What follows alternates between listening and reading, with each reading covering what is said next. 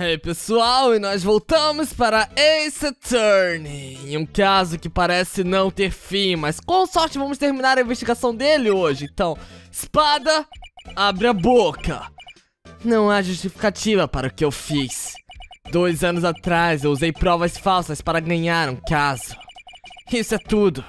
E nada do que eu fizer mudará esse fato. Ah, Mas você não sabia, não é? Quer dizer, não sabia que as provas eram falsas? O Departamento de Polícia e o Ministério Público compartilham uma relação de confiança. Se perdermos essa confiança, corremos o risco de perder tudo. Os erros do departamento são meus. São minha responsabilidade como membro do Ministério Público encarregado.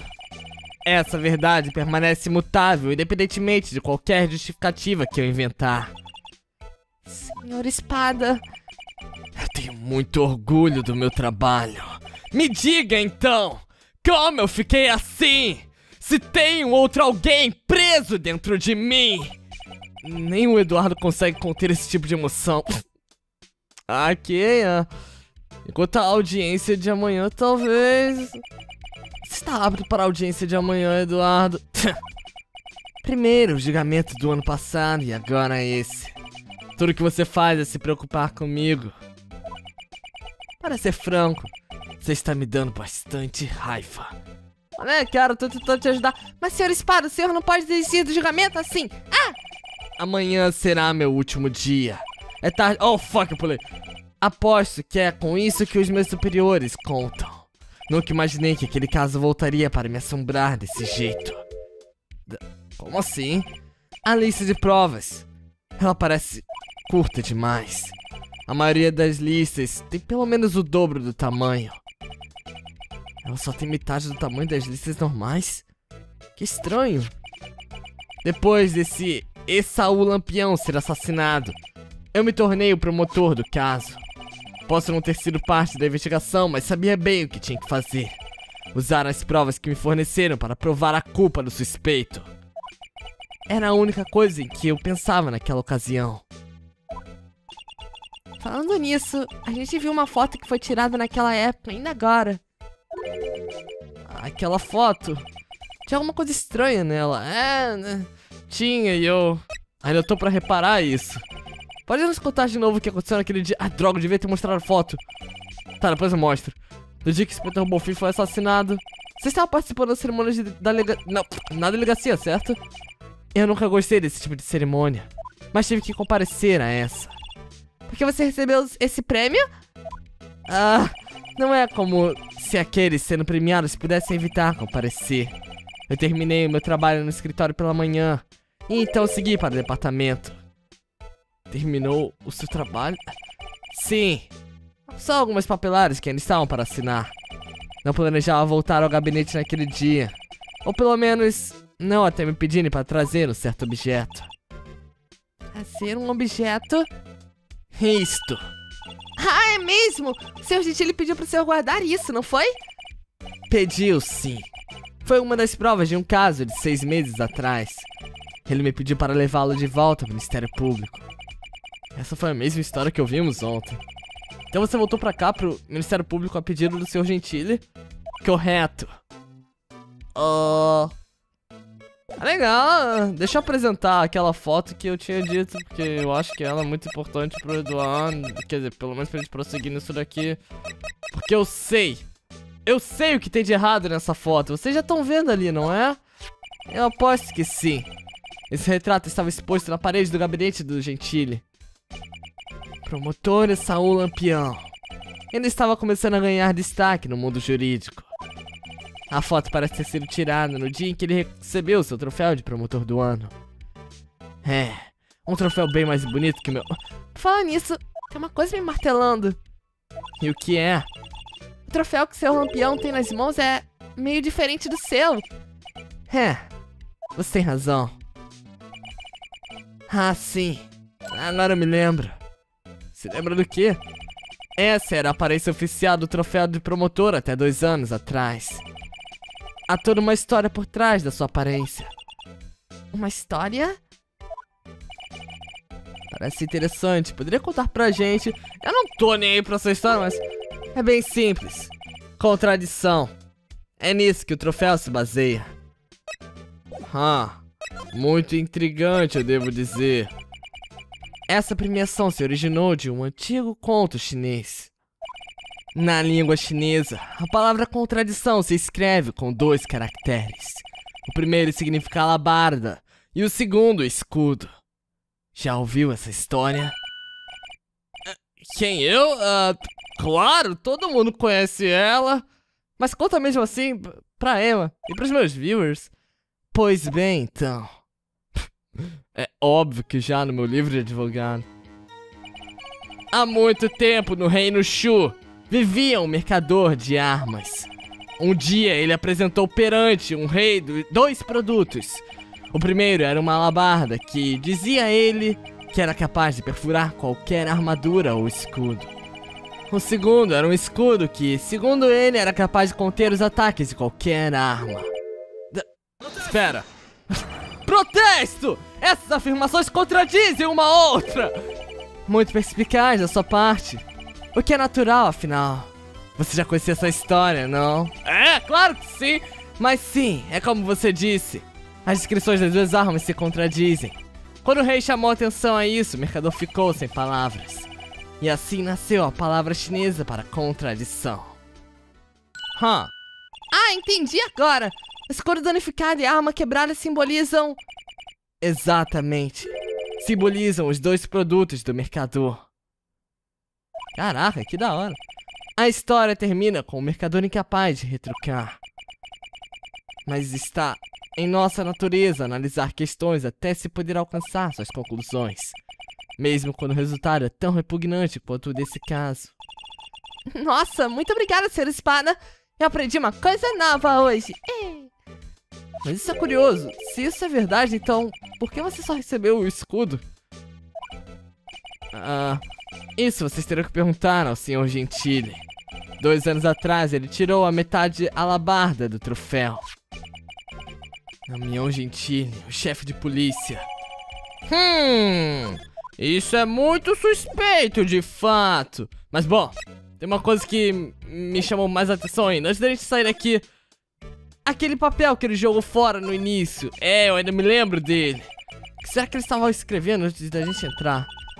Vamos, senhor veríssimo, para dar uma olhada. Uh, tá doido, garoto? O Eduardo tá bem ali de olho na gente. é.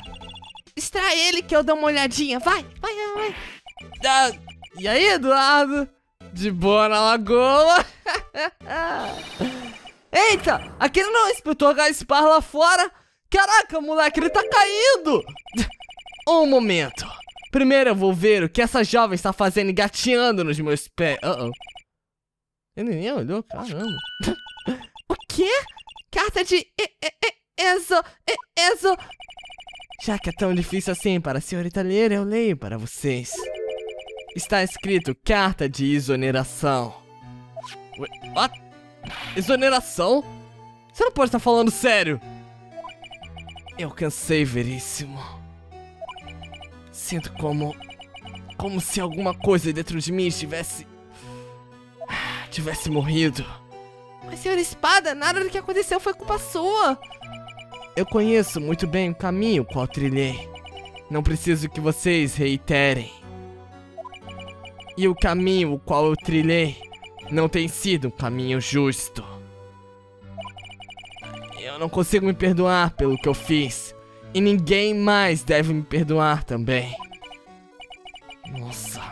Pior que eu acho que ele tá falando sério mesmo. Oh, oh. Senhor Veríssimo, você tem que fazer alguma coisa, por favor. Ah. Não assine essa carta, Eduardo.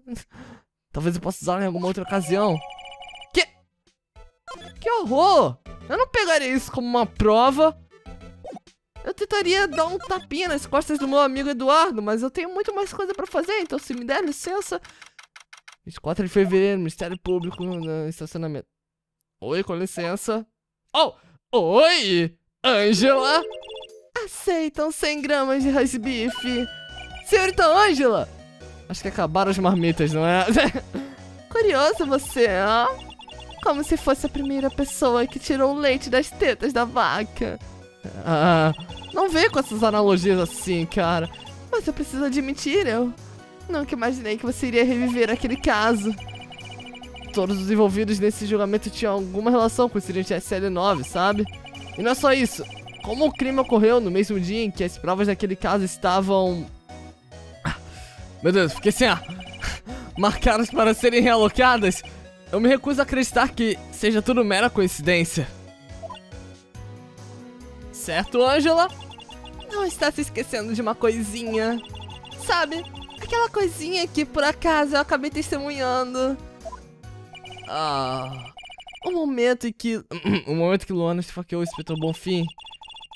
Pode revisitar o passado quanto quiser. Não vai mudar o que eu vi. Roast beef foi feito para ser saboreado lentamente. O ódio que esse Angela tem pela Luana. Céu, cara. Ele também nasceu dois anos atrás. Oh. Será que ela vai nos falar agora o que ela sente pela Luana? João Trevais. Um nome que eu não vou esquecer tão cedo. Aham. Uhum. Por seis meses nós ficamos caçando ele. A pressão era tamanha. Ainda assim, eu acho que nunca me senti tão viva como naqueles dias. Eles eram mais intensos do que um prato de pimenta malagueta. Mas coitado do Jacó Lampião. Ele deve ter passado uns maus bocados. Por causa da morte do irmão dele. Aqueles dois eram muito próximos. Depois que Saul morreu, Alguma coisa possuiu o Jacó. E ele ficou desesperado. Ver o Jacó naquele estado deve ter deixado ela ainda mais desesperada. Ela? Luana Ciel. A minha irmã? Os melhores investigadores de todos foram carregados do caso SL9. Naturalmente, eles eram liderados pela dupla lendária. A Luana e o Sr. Gentili Tá legal. O que, que você tem pra me falar dessa dupla lendária? Vai, desembucha! Damião Gentili e Luana Ciel.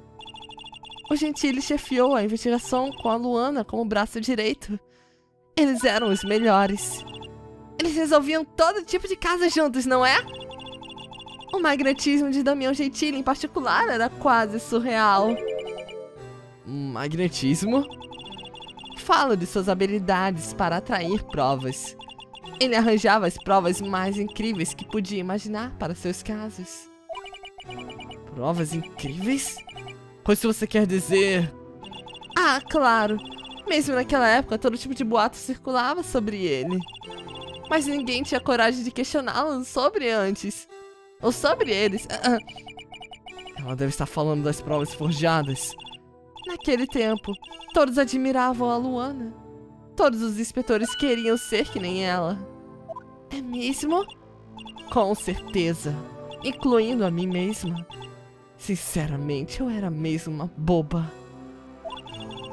Ela odiava sujeira de qualquer tipo e sempre ficava de olho nos outros inspetores.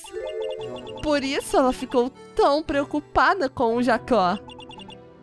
Seu lampião. Quando o irmão do Jacó foi assassinado, foi como se ela mesma tivesse perdido um irmão. Se não fosse por ela, duvido que o Jacó teria conseguido se recuperar do choque. E é isso que faz tudo ficar ainda mais revoltante. Senhorita Angela. E é por isso que eu nunca irei perdoá-la. Por que ela ficou tão fria depois disso? Ah, eu sei lá, desembucha sobre o que você tem pra falar ainda. A dupla lendária era o motivo pelo qual nós mantínhamos a investigação de pé. E é por isso que ficamos tão chocados com o que aconteceu. A senhorita quer dizer da falsificação de provas? Não me entendam mal. João Trevais teve o que merecia. Mesmo assim, era óbvio que as provas apresentadas no tribunal eram manipuladas. Do nada apareceram objetos que a nossa equipe nunca encontrou. E outros eram suprimidos. Mas se você não tem provas de que, que realmente fizeram alguma coisa legal... Eu sou uma boa prova. do que aconteceu. Depois do caso, todos menos o Bonfim fomos dispensados de nossos cargos. A maioria sem nem receber uma explicação. E aí, Luana Ciel foi transferida para o Ministério Público e virou Procuradora-Geral de Justiça. Ela sempre quis fazer parte do Ministério Público. Nada é tão simples quanto parece ser. O quê?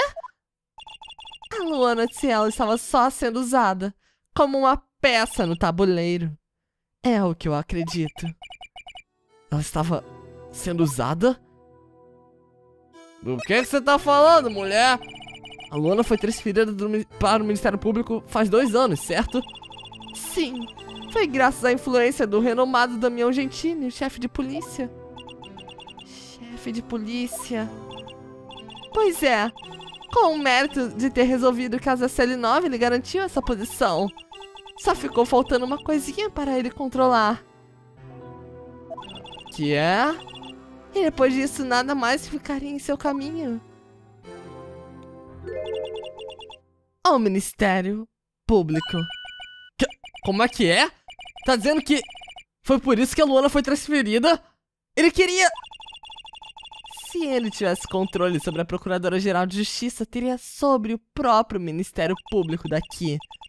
Esse deve ter sido o objetivo dele desde o começo. Mas como ele iria controlar a Luana? Eu não sei. Mas uma coisa é certa. Desde o fim daquele caso, ela nunca mais foi a mesma. É uma conclusão bem lógica se chegar. Que deve ter havido uma razão para essa mudança dela.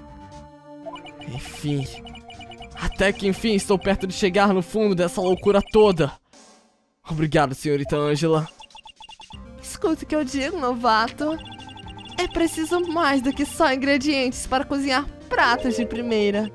Espero que você seja um chefe melhor do que eu fui. Pode deixar. Eu sei fazer um curry que ninguém mais aqui sabe. E é hora de provar isso. Uh, talvez no centro de detenção eu deveria falar com a Luana antes. Só por garantia. Não tem nada pra falar com ela. Não tem? Ah, ok, então deixa pra lá. Uh, vamos pro departamento de assuntos criminais, então. Eu tenho uma coisa pra fazer aqui. Delegacia. Departamento de assuntos criminais. Ah, ah vocês voltaram. Oi, Gaspar. Você ainda tá aqui. Oh, pera. Eu preciso chocar 150 cópias desse processo aqui. Fazer um cafezinho, fazer xerox. Eu tô virando um MC! Oi, Você é funkeiro agora, inspetor? Eu acho que não. Ele deve estar tá querendo dizer como mordomo do café. Ah. ah, tá. Esse MC. Eu admiro a persistência de vocês, mas a resposta continua sendo não que, que ele tá falando? Eu não lembro, já faz muito tempo que o texto não posta nada. Eu não vou deixar vocês entrarem na sala do Gentili, ponto final. Eu não posso acabar perdendo o emprego. Essa sala é a última cena do crime do incidente SL9. Eu preciso dar uma olhada nela. Tem que ter alguma coisa que a gente possa fazer para aquele monte de ideia. Olha, Emma, eu geralmente diria que conversa é sempre a chave, mas nesse caso em específico, eu acho que eu tenho uma prova muito importante aqui, em particular, que talvez faça o nosso querido inspetor Gaspar querer abrir a boca. Não é mesmo, senhor amiguinho do espada? O que é esse papel amassado aí? papel amassado. Claro. Eu não acredito! O senhor espada não pode estar falando sério! Ele nunca tá falando sério. Eu não acredito que forçaram ele a uma coisa dessas! O senhor Espada realmente se sente responsável por tudo que aconteceu. Quando conheci ele, eu me achava que ele era frio que nem gelo. Mas agora eu sei que não é assim. Ele confiou em nós, inspetores, para fornecer a ele boas provas. E a gente. Nós traímos a confiança dele. Oh, Inspetor. Tá resolvido. Eu já me decidi. Mas... Toma. Leva o meu crachá. N- não podemos fazer isso. Se alguém descobrir... Não vou só mandar o senhor preencher o registro do item perdido. É, vai ser bem pior. Olhe pra mim. Não é segredo pra ninguém que eu sou um cara fora do baralho. Além do que, eu sou amigo do Sr. Espada. Dependendo de como esse caso terminar, eu também já era. Pera, quê? Então, pelo menos, me deixe fazer isso. Pelo Sr. Espada! Certo, inspetor. ah, Muito obrigado, eu acho. Depois não vai reclamar, tá bom? Crachá do Denis enfiado no bolso. Eu acho que essa escolha de palavras não foi muito boa pra essa ocasião, já tema, mas talvez tenha sido de propósito. Enfim. Está na hora. É agora, seu veríssimo. Uh oh. Uh oh. Funcionou? Funcionou! É! Olha o órgão aí. Umas coisinhas que eu já reparei dali do lado, mas. Se a gente for pego agora. O inspetor Gaspar já era. Se isso acontecer, eu conto com vocês pra me tirar dessa. What? Ai! Ah, ah! Ah, não, eu fui acertado de novo. Ela achou que eu era o Gasparzinho. Ah, piada repetida. Desculpa, eu pensei que o senhor fosse um fantasma. Fantasma bem grande e sólido. Eu sou Gaspar, não Gasparzinho. Eu não sabia que dava pra bater em fantasmas também. Ah! Inspetor Gaspar! O que, que você tá fazendo aqui andando de fininho atrás da gente? Eu não tava andando de fininho só. Fiquei preocupado que fosse dar alguma zebra. Aí eu resolvi vir também. Se você ia entrar, então pra que nos deu o crachá afinal? É? Crachá do Denis amassado no bolso até ficar invisível. Aí, não faz isso com meu crachá, mano! Eu digo, chapa. Desculpa, regionalismo pegou forte aqui agora. Eu quase nunca tenho oportunidade de entrar aqui. Por isso eu decidi dar uma olhada com meus próprios olhos. Além disso, a gente tá junto nessa treta, chapa. O senhor realmente quer ser demitido, não é? e se tivermos sorte, eu não vou ser. Vamos, bora ver o que a gente consegue achar. Eu tô com mau pressentimento. É, eu também. Ah, tá legal. Então, o que tem aqui no cofre? Um cofre? Hum, tá uma palavra mergulhada em intriga. Ah, se você diz. Eu não entendi. Parece que é preciso inserir uma senha nesse painel para poder abrir ele. Hã. Ok. Eu acho que todo mundo sabe. O número de sete dígitos. Eu acho que todo mundo sabe bem qual é. É. Não é segredo nenhum. Você sabe? Eu tenho um palpite. Ah, já sei! Quer tentar botar minha data de nascimento? Ela é. Não, não, não precisa não, Gaspar. Eu acho que o jogo já deixou bem óbvio que dia é. Aliás, que número é essa, essa senha. Eu não acho que seja seu aniversário, a não ser que ele seja no dia 77 de 77 de 1977 ou 1777, 1900. Ahá! Foi fácil demais. Alguém chama o Selbit aqui, porque isso tá muito fácil. Bingo! Eu não jogo bingo há séculos. Qual número você digitou? Foi a data de nascimento de quem, meu chapa? Não, não acho que foi data de nascimento nenhum. Foi só o último número de matrícula do registro. O, o quê? O número do diretor misterioso que entrou na sala aquele dia. Isso quer dizer 777777? Aquele número? Dessa vez eu acho que faltou um 7 aí. Só pode significar uma coisa. Esse é o número do seu Gentili. Mas e aí? Alguém vai olhar o que tem dentro? Ah. Eu posso olhar, eu, eu faço essa pelo time, galera. É dinheiro? Quanto de dinheiro ele tem aí guardado? Olha só, é um. Ahá! Eu sabia! Quer dizer, não sabia, mas. Ahá! Esse fragmento me parece familiar. Onde foi mesmo que eu vi? Tem mais uma coisa aqui dentro. Hã? Que isso? Parece uma peça de roupa. E é de couro. Pera, de couro e dessa cor? Isso aqui é uma marca de mão, não? Aí, Eu já vi um cara usando uma camisa feita disso. Eu acho que foi o seu Gentili que criou o design. Ah, não, eu acho que não. Mas eu sei quem usou. Ah, era só uma teoria. É só isso? Não tem mais nada no cofre? É o que parece. Ele tá vazio agora. Um pedaço de pano com uma marca de mão e um caco de uma xícara quebrada. Parece ser provas. Parece ser provas. Pois é, mas... A menos que você consiga provar que tem relação com o caso, eu não vou poder deixar que vocês levem ela, não. Ah, afinal, é meu emprego que está em jogo aqui, chapa! Que ótimo, eu vou ter que provar a relevância que...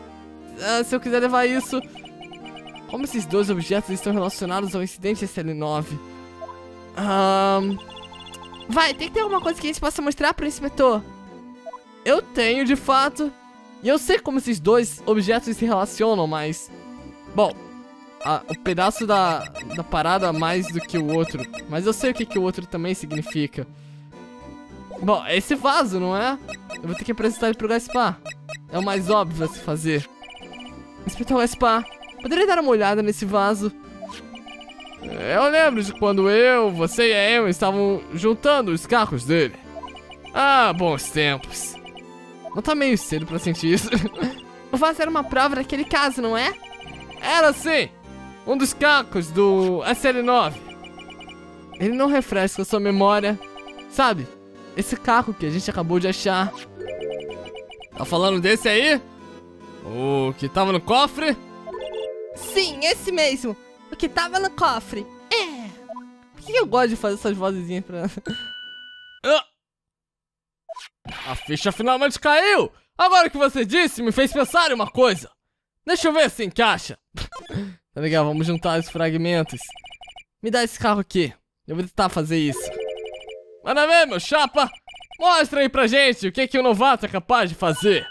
Seu veríssimo, tá aqui a cola. Se eu conseguir remontá-lo, eu poderei provar que o senhor Gentili estava ocultando provas. É!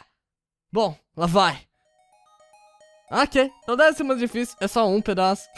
e imagino que eu tenho que rotacionar tudo, porque senão o jogo não teria muita graça se fosse só dar um girinho. Então aí está. O vaso completamente montado e... Isso não parece um padrão de sangue.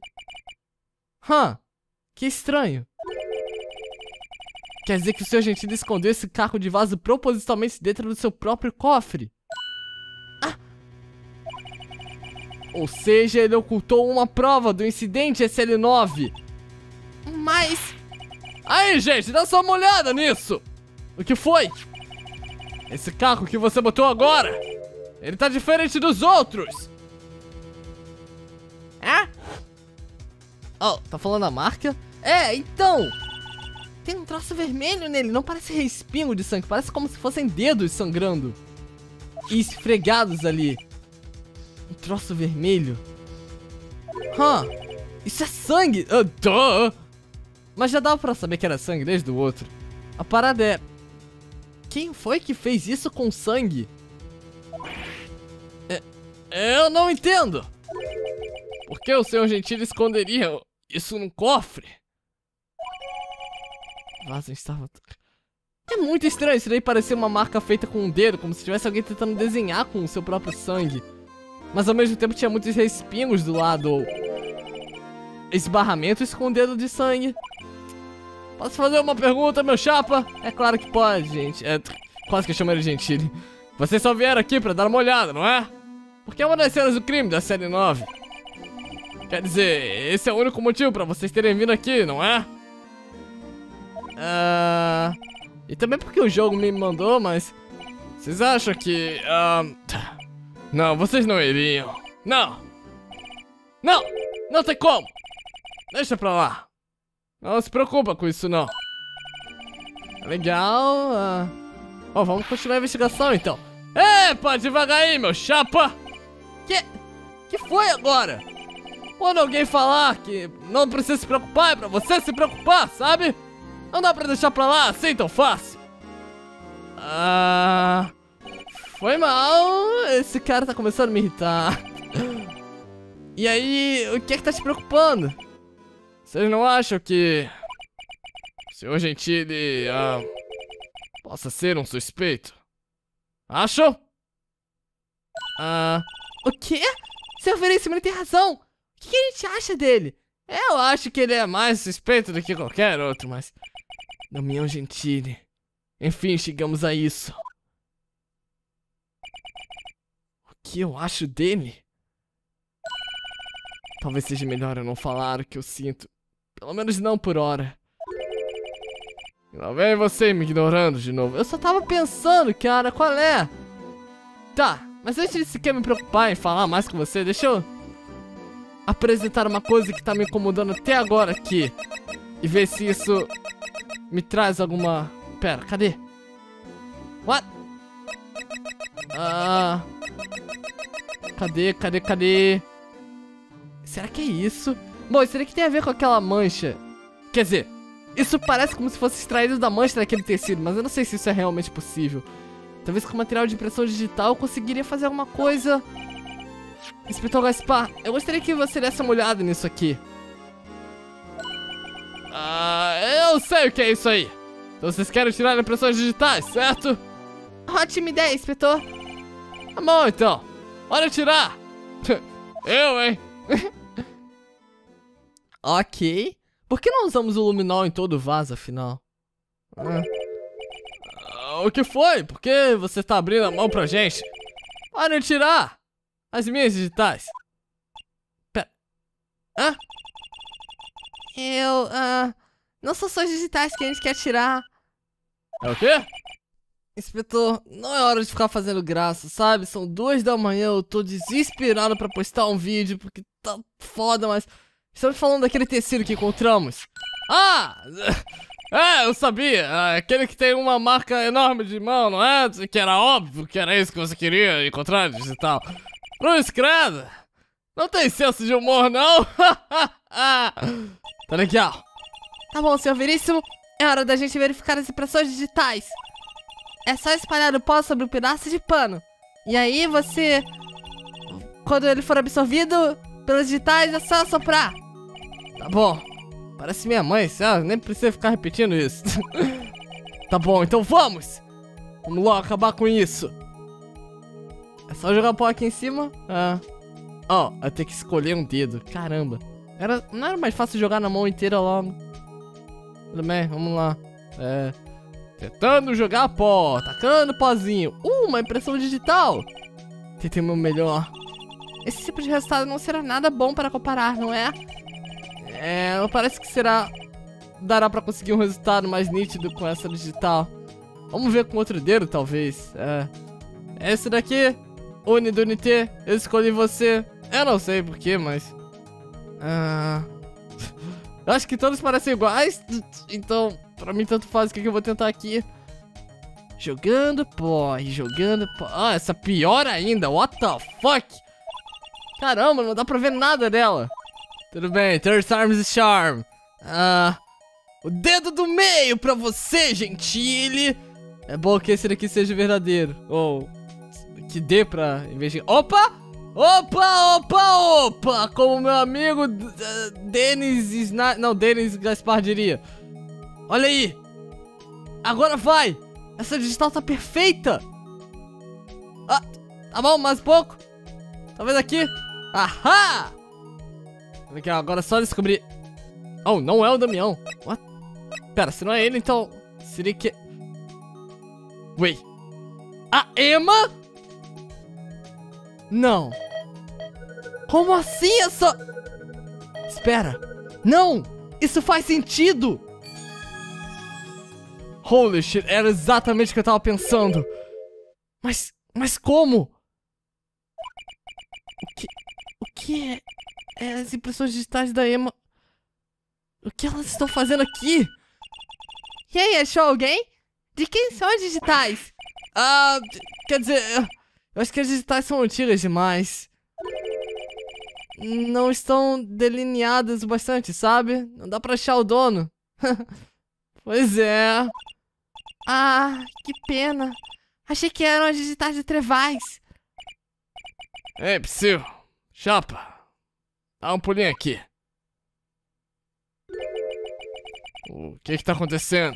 Por que tem digitais dela dentro do cofre do Sr. Gentile? Pera, como você viu? E eu que sei? Vamos esconder essas informações da Emma, pelo menos por hora. Hum. Toma. Talvez seja melhor você guardar isso. Ah, eu sinto que sei exatamente tudo que aconteceu aqui já. Esse pedaço de roupa de couro tá bem na cara, não é? Ainda mais com a mão dela. Ah, isso daqui também pareceu suspeito, cara. São de verdade, não é? Essa armadura e essas armas. Pode apostar, chapa. Seu gentil odeia imitações. Primeiro o órgão e agora essa armadura. Ah, tem noção de quanto dinheiro público deve ter sido gasto nesse gabinete? o quê? Quer dizer que é a gente que tá pagando por isso? Já deu! Imposto é roubo e eu não pago mais! É isso aí, Emma! Mostra pra eles! Você não paga imposto? Você é uma adolescente? Não importa, Fênix! Ela tá certa! Chiu! É o que vocês falam? Sei lá, vai que o seu Gentile tá escondido dentro dessa armadura ouvindo a gente. Acho que ele já teria saído e nos apunhalado com essa espada, mas tudo bem. Eu não acho que ele caberia nela. É, também tem isso. E mesmo se coubesse, não teria como sair dela. Esse é um outro problema. Eu tô falando sério, vocês. Não tem noção de como aquele cara dá medo. Ok. O que mais que tem pra ver aqui? Essa mesa, talvez. Caramba, olha só o tamanho da mesa do Sr. Gentili. Falando nela, quando a gente entrou aqui agora há pouco... Ah, são vocês. Sr. Gentili, Ainda baixou o papel, estava lendo, colocou sobre a mesa. Ah, pera, cadê o papel? Pera, o papel de provas? Pera, era aquele papel do Eduardo. O que ele tava lendo? Isso aqui parece ser uma lista de provas. É, o papel que a gente viu na sala do Eduardo. Uma lista de provas? É, mas na maioria dos casos essa lista tem o dobro do tamanho. Pera lá. Ei, olha só o nome do caso. Ah, Incidente SL9? O que será que está fazendo aqui? Espera aí, inspetor. O que foi que você disse? Eu disse, o que será que isso... Não, sobre a lista de provas. Elas costumam ter o dobro do tamanho. Pois é, acho que para esse caso não tinha muitas provas. Não, uma lista de provas com metade do tamanho normal. Ah, eu sabia! É a mesma lista! Ou pelo menos é o mesmo caso! Estamos lidando com a mesma situação aqui! Mas que... A outra metade da lista estaria fazendo aqui... Pera, é a outra metade! What the fuck? Eu sabia, seu Gentili deve estar escondendo alguma coisa sobre aquele caso! Eu sou muito estúpido! Mas é o que parece. Então essa é a outra parte da lista! Eu não acredito. Meu Deus. Acabou. Conseguimos todas as provas. Se antes estava difícil, nós parecemos estar chegando perto da solução agora. Tá mais claro do que água. Só tem que ler essa lista. Essa foto foi tirada naquele dia fatídico. O dia em que João Trevais fugiu da sala do interrogatório e tentou matar a Emma. Depois que recebeu o troféu, o Sr. Lampião tirou uma foto aqui. Em seguida foi junto com o Sr. Gentili interrogar o Trevais. Aposto que ele nem fazia ideia de que estaria morto poucas horas depois. Você acha? Eu acho que ninguém espera que isso aconteça, mas é. ah. Deixa eu ver. Eu posso ir agora, sei lá. Ir lá pra falar com a Luana. Eu tenho muito que falar com ela, cara. Por favor, me dá. What the fuck, Luana? Tá, calma, talvez. Eu não falei tudo que eu tinha pra falar com o Gaspar, eu falei. Mano, pra onde eu vou aqui? Eu tô perdido. Eu falei com todo mundo. Eu acho que eu não falei com o Gaspar tudo. Calma lá. Ah, pra cá, né? Ele tá aqui ainda. Gaspar? Gasparzinho, você tá aqui. Ahá, eu sabia! Aquela mesa lá do outro lado da sala. Ela era da sua irmã. Pera, tô falando com a Emma, não com o Gaspar. Era. Foi nela que eu esperei a Luana chegar. Naquele dia, dois anos atrás. Alguém mais usa ela hoje em dia? Ah, não. Essa sala é todinha no seu gentilho agora. Ele tem uma política rigorosa de preservar a cena do crime, sei lá. Razão estranha pra deixar ela aqui. É. Ele deixa ela aí com uma forma de aviso pra gente. Pra ficarmos sempre alertas. Ele mesmo disse isso na festa do ano novo. Caramba, cara. Bom, é que ele tinha bebido bastante. Ah, tá bom, entendi. E desde que a Luana foi embora, ninguém toca mais na mesa?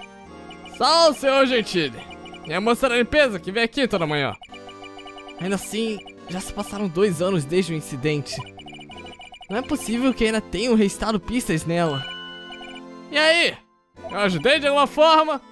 Com certeza. Graças ao seu crachá, a gente pode, a gente pode obter ótimas provas. Uh oh. Isso é meio cruel de se dizer, não acha? Digo que se não fosse pelo crachá dele, ele teria sido totalmente inútil. Não é mesmo? Ou sobretudo. Ah, não. Ai, meu Deus! Senhor Gentile! Não achávamos que o senhor voltaria tão cedo. Não é isso que se fala numa hora dessas, Fênix! Felizmente eu sou um homem que acredita em sinais. A caminho da minha reunião, eu olhei pela janela e vi um cachorro vira-lata esbarrando em um poste. Foi quando eu me lembrei de um certo inspetor. Quê? O senhor está falando de mim, senhor? O que, que isso tem a ver? Bom, receio que terei que pedir a todos vocês que se retirem. Tá bom, já tava de saída mesmo. Sim, senhor. Desculpa.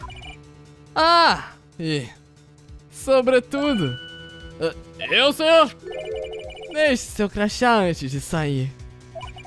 Não vai mais precisar dele. Mas, senhor! Uh -oh. Não, não. Saia da minha frente! Sim, senhor! Serra os cara. Bom, aproveitando a deixa, a gente também vai indo. Espere! Você, a única do trio sem cabelo espetado. Ah, quê? Não vai embora ainda. Eu, senhor? Gostaria de falar com a senhorita. Mas eu ainda não sou uma investigadora científica licenciada, eu... Já você do cabelo espetado, você pode ir. S senhor Veríssimo! Não! Tu não vai me... Ele me afastou da Emma? Eu não acredito. Escuta aqui, chapa, eu falei mil... Não, dez mil... Um milhão de vezes. A sala do chefe de polícia é 200% restrita. Mas não, você tinha que ir e se filtrar lá, não é? Foi o senhor que falou que não estava mais nem aí se fosse demitido ou não. É, mas se eu soubesse que essa coisa toda ia dar nisso... Eu nunca tinha dito aquilo! Agora que eu vi a prova que o senhor Gentili está escondendo no gabinete, eu acho que finalmente estou começando a juntar as peças. Mas por que é que ele nunca falou disso por todo esse tempo? Está estranho demais. Ei, chapa, você tá me ouvindo? Eu vou tentar apaziguar as coisas com o seu Gentili de novo. Falou, chapa. Tá legal.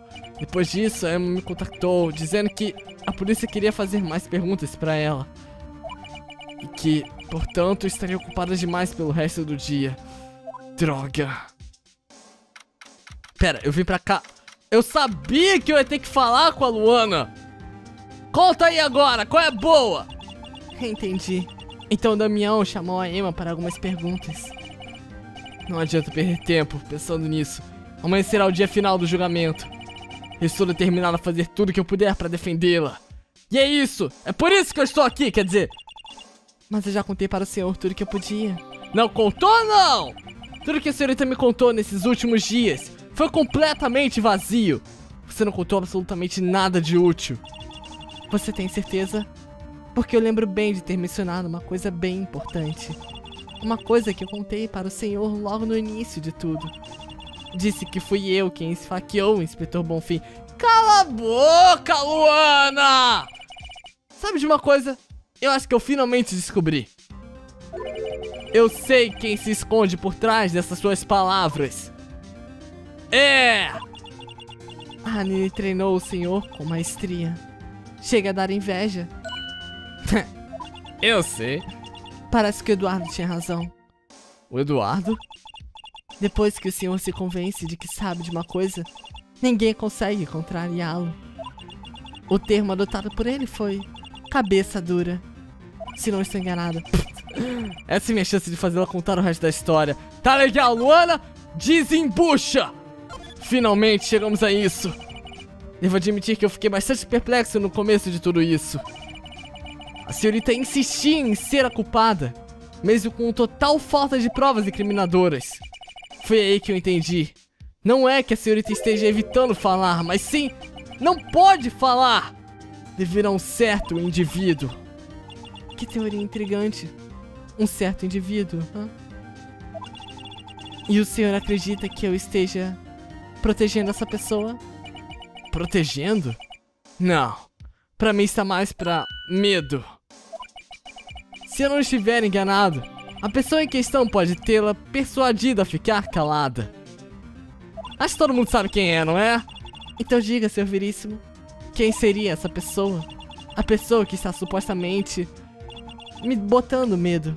Qual é o nome dela? Pff, eu nem precisei mover o cursor, ele tá bem aqui.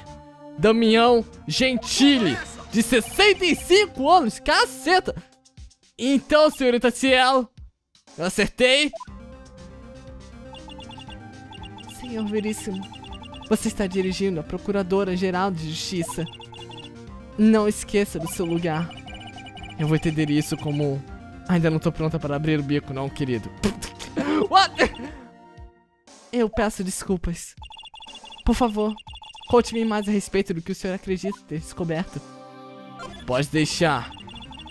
Quanto ao Damião Gentili, éramos parceiros até cerca de dois anos atrás. Eu respeitava como inspetor. Mas se ele é tão responsável. Uh -uh. Mas se ele é tão responsável assim, por que tentaria esconder os próprios crimes? Os crimes dele? A senhorita e o Eduardo serão devidamente interrogados pelo que fizeram. Mais especificamente por esconderem e forjarem provas. Naturalmente, são ambos crimes bem sérios. Mas por que é que o nome do Damião Gentili nunca é citado? Senhor Gentili? O chefe de polícia? O Eduardo não sabia da verdade por trás das falsificações. A única pessoa que poderia ter adulterado as provas era... Eu. Eu tinha acesso às provas, pois era vice-comandante daquela investigação. É verdade, mas além de você, havia outra pessoa. O Damião Gentili! Você sabe bem disso, Luana. Se quer acusar o seu Gentili, vai precisar de muito mais do que meras palavras. Mostre-me uma prova de que o Sr. Gentili fabricou provas naquele caso. É pra já. Eu tenho ela bem aqui. O vaso instável! Eu achei isso dentro de um cofre na sala do Sr. Gentili. Esse caco de vaso e esse pedaço de pano. E sabe o que eles são? Provas do incidente SL9. Eu... Você o que, Luana? Quem estava escondendo provas era ninguém menos do que o próprio Damião Gentili. E agora me diga, por que a senhorita está levando toda a culpa pelo que ele fez? Touche, senhor veríssimo. Sua teoria está certa. Eu não posso desobedecer às ordens do chefe de polícia. Mesmo que signifique ser condenada por homicídio. Mas por que não? Faça-me um favor, senhor veríssimo. Acha mesmo que eu posso responder? Três dias atrás, naquela hora, eu não tinha escolha senão cooperar. O dia do assassinato do inspetor Bonfim. Ou talvez fosse melhor dizer, seguir ordens. É, é um termo mais adequado do que cooperar. E quais eram essas ordens? Eu não posso lhe contar os detalhes. Ah, qual é? Mas posso dizer que recebi uma certa ordem aquele dia. Preciso que você se livre do corpo do Bruno Bonfim.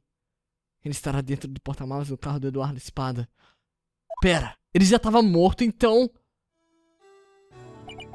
Acabou. Desvendamos o caso.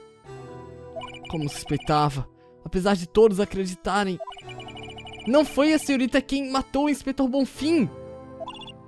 Correto. Pera. Calma lá. Eu estava tentando remover o corpo de dentro do carro do Eduardo. A tranca do porta-malas já havia sido quebrada. E eu encontrei a arma do crime enquanto inspecionava o corpo. A arma do crime? A faca do Eduardo. ela tá dando todos os detalhes que ela disse que não daria. Não. Quando eu achei o corpo, era esta faca que estava cravada nele. A faca do Sinistro 9? A do João Trevais? Pera! Faz sentido agora! Eu não podia deixar aquela faca ali. Então eu atirei e cravei uma faca diferente nele. A faca do Eduardo Espada, certo? Exatamente. Mesmo ele já estando morto, minhas mãos tremiam só de pensar em esfaqueá-lo. E por isso eu acabei cortando minha própria mão por acidente. Por isso as ataduras de sua mão direita. Bom, isso a gente já sabia. É. E parece que deixei cair um pouco de sangue nos sapatos da vítima também. E foi aí que. Tá tudo sendo explicado! Que ela me viu cravando a segunda faca. A senhorita Angela. Ele já estava morto nessa hora então. Mas por que a senhorita precisava tanto esconder a faca do Trevais? É! Pera, será que... Eu já sei por quê. Deu muito trabalho para... Enfim, declararmos o caso do Trevais como concluído. Já estava tudo acabado. Eu nunca mais queria vê-lo sendo reaberto. A minha intenção era prevenir isso a qualquer custo. E por isso a senhorita escondeu a faca do Trevais? Mas ele já estava morto, quer dizer, ele estava preso. A arma utilizada para matar o inspetor Bonfim era uma prova do caso do João Trevais. Se essa informação vazasse, o que com certeza aconteceria, os repórteres cairiam em cima. Só teria sido uma arma do caso usada, mas no fim das contas não seria o João Trevais nem nada do tipo. O caso não seria reaberto. Por isso que você enrolou ela no cachecol. Não, não faz sentido. Não quero o escapamento do carro do Eduardo. Exato. Foi então que eu liguei para minha irmã. Para explicar o ocorrido e pedir para ela esconder a faca que estava dentro da peça do carro. A senhorita pediu isso para Emma. Não queria que ninguém na polícia descobrisse o que tinha acontecido. Não é à toa que a Emma é tão confiante. Quanto à inocência da Luana. Falando em telefonemas, Teve outra aquele, naquele mesmo dia que me deu um mau pressentimento. Um mau pressentimento? A verdade é que, após receber essas ordens do Sr. Gentini, a primeira coisa que eu fiz foi fazer um telefonema. Uma ligação para o oficial Jacó Lampião. Pro Lampião? Pra que ligar pra ele numa hora daquelas? O inspetor encarregado do incidente SL9 havia sido assassinado. Aham. Uhum. Eu queria manter esse detalhe em segredo, e para isso eu precisaria da sua ajuda. Além da Emma, ele era o único em quem podia confiar. Ou pelo menos, foi o que eu pensei naquele momento. Mas, pelo visto, ele resolveu fazer arte por conta própria após a ligação. Ah, quer dizer, quando ele. Querendo evitar que o caso morresse, ele resolveu tomar medidas próprias. Isso foi ele. Cara, que genial! Se disfarçando de inspetor Bonfim para tentar roubar a prova. Mano! Ele já havia roubado o crachá. Mas parece que ainda havia decidido que iria invadir a sala de provas. Que não havia decidido. Depois de receber o telefonema, quaisquer dúvidas que ele tivesse deviam ter se evaporado. Então foi o seu telefonema o responsável pelo incidente da sala de provas Cara, tá tudo explicado. Receio que isso seja tudo que eu tenha para contar. E você disse que não entraria em detalhes. Mas, Luana, o senhor conquistou o meu respeito, senhor Veríssimo, como advogado e como investigador. Agora, por favor, não se adentre nessa questão na audiência de amanhã. Ha, ha, ha, até parece. A audiência de amanhã só há um jeito de acabar com os conflitos internos dela. Eu preciso chegar ao fundo disso! É... O verdadeiro assassino do Inspetor Bonfim.